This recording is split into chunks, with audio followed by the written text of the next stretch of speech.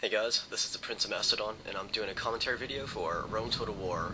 This is a multiplayer battle. I command the Macedonians, and my opponent is TGN Conquest from the ATW OTD clan, and he commands the Scipii Romans, and those are the Romans in blue.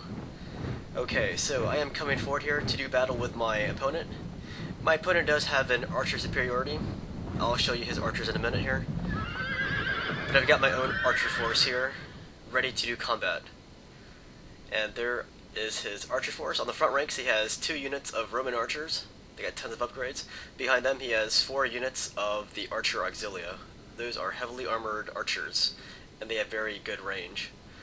And his infantry force consists of four units of Praetorian cohorts, and he even put his general in one of those units. Then his cavalry force has four squadrons of Praetorian uh, cavalry, and there they are. So he has a Praetorian army for the most part, not including his archers. And there is the front ranks of his uh, Roman archers right there. And he's going to come forward too a little bit. And you can hear his archer auxilia launching their arrows already at my guys. I'm not so worried about his archer force as I'm worried about his Praetorian cavalry first and his infantry force second, but I will come forward here in Macedonian style. My goal is not to shoot it out with his opponent. My goal is to uh, is to get close with my opponent and give him the Macedonian business. So there's my my royal pikes. These guys are accustomed to battle. They have fought many campaigns with some of the greatest leaders in history such as Philip II, Alexander the Great himself, and there were many other great Hellenistic commanders, especially uh, Antigonus the One-Eyed, one of the greatest successors of Alexander the Great. Very, uh, very distinguished record he has. Alright, so I'm coming forward here.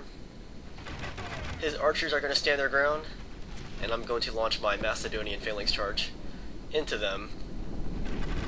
So there's my, my royal pikes, Alright, now that I've reached his archer line, my next objective is to uh, reach his, um, his line of Praetorian cohorts intact.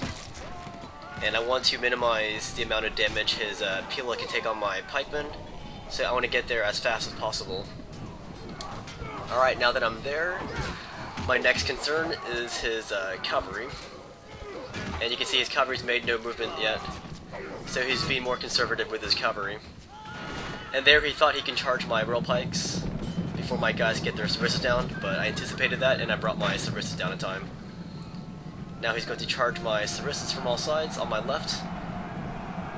But this is where my companions come into play. I'm going to uh, rescue my royal pikes right there with a uh, stereotypical uh, cavalry rescue. So.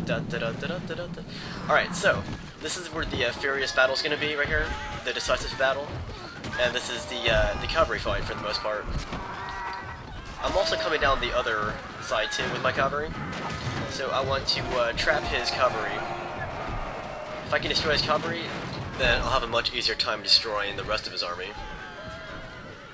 Um, right here you can see that my royal pikes are holding out against the uh, Praetorian cohorts. Usually people would bring uh, urban cohorts, but my opponent wanted to uh, balance out quantity and quality, so bringing a bringing a couple of uh, of highly upgraded uh, Praetorian cohorts is a nice thing to do too. Not a bad choice.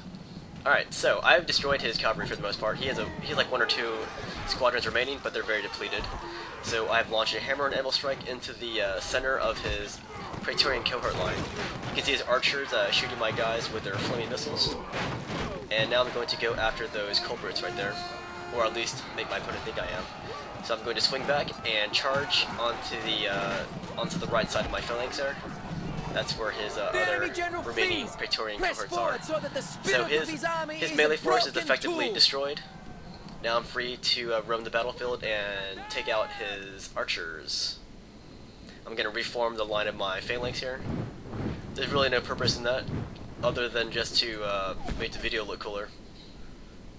And you can see my, my cavalry going down the extreme right, so you can see right here, my cavalry is going down here. They are chasing down some of these archers. There's one unit right here, and there's one more unit on the other side of the battlefield. So he has two archer units left.